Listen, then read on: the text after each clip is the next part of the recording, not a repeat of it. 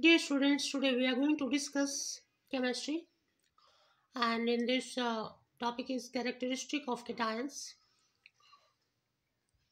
First point of cation's characteristic is a cation contains lesser number of electrons than its parent atom. For example, consider a calcium atom Ca and its ion Ca double plus. So calcium after losing two electrons it becomes Ca double plus. Before losing two electrons its electronic configuration is 2882 and after losing two electrons its configuration becomes 288. So before losing two electrons number of proton is 20, number of electron is 20, total positive charge equals to total negative charge. And after losing two electrons number of protons is 20, number of electrons is 80 and that's why total positive charge is greater than total negative charge.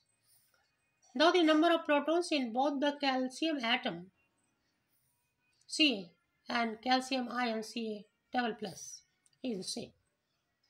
But the number of electrons in calcium ion is 18 and is 2 less than that of calcium atom that is 20. Second point of characteristic is a cation is positively charged. This is because in a cation, the number of protons is greater than the number of electrons. Thus, the total positive charge in cation exceeds the total negative charge in it. Hence, a cation is positively charged. Third characteristic is the atomic number of the atom does not change in the formation of cation. This is because the number of protons in the nuclei of both the cation and its parent atom remains the same.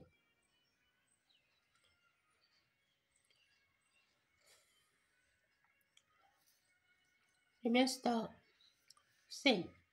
Since the atomic number depends upon the number of protons present in the nucleus of an atom or ion. Hence, the atomic numbers of the atom and its cation are the same. Fourth is electronic configuration of a cation is the same as its nearest noble gas. For example, the electronic configuration of potassium ion K plus and the nearest noble gas argon Ar are the same. Potassium ion is K plus is 288. This is electronic configuration of potassium ion. And argon that is Ar is 288. Okay. Now, the fifth characteristic is a cation is smaller in size than its parent atom.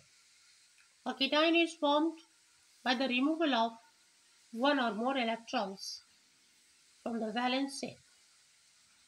If all the valence electrons are removed, the remaining electrons in the inner shells do not extend so far in space. Moreover, the effective nuclear charge increases and the electrons are pulled inward. Sixth point, sixth characteristic is cations are formed from metal atoms.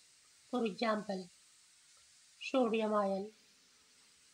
Yeah, it is losing one electron, so here single plus is given. Potassium ion, here also it is losing one electron. That's why here single plus. Magnesium ion, it is losing two electrons, so it is double plus. Calcium, it is also losing two electrons, so double plus. Barium ion, losing two electrons, so double plus. Aluminium, it is losing three electrons, so three plus, etc. cations. Like that, cuprous, cupric, ferrous, ferric, stannous, stannic. These are the different cations. All are metals. Exceptions. This rule has exception also. Hydrogen and ammonia. Radicals are non-metals. But they form hydrogen ion, H plus, that is single electron losing and ammonium ion NH4 plus single plus respectively. That means hydrogen forms hydrogen ion, ammonium forms ammonium ion. Okay, thank you. If you like, please share and subscribe.